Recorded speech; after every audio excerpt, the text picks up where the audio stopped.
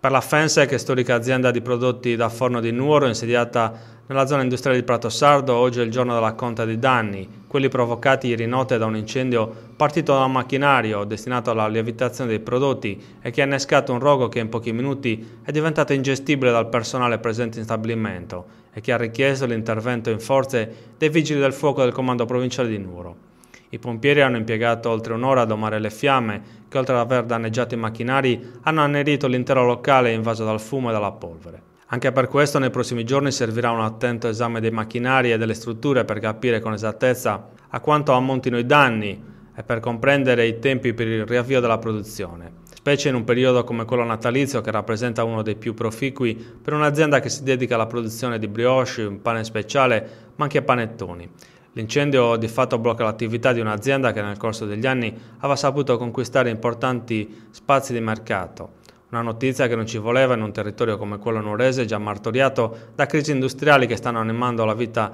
sociale, politica e sindacale degli ultimi tempi.